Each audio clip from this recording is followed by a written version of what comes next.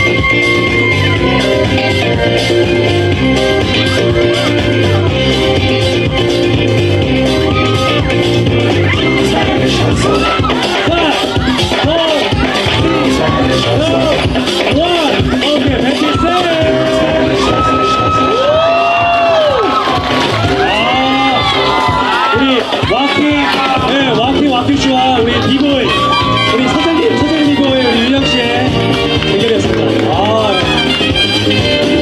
그 배틀이 끝나자마자 핸드폰을 바로 주고 계시네. 깜짝 놀랐습니다. 아 주머니 계셨어요? 네. 어, 저, 전투화를 신고 이렇게 열심히. 네. 자, 바로 결과 알아보도록 하겠습니다.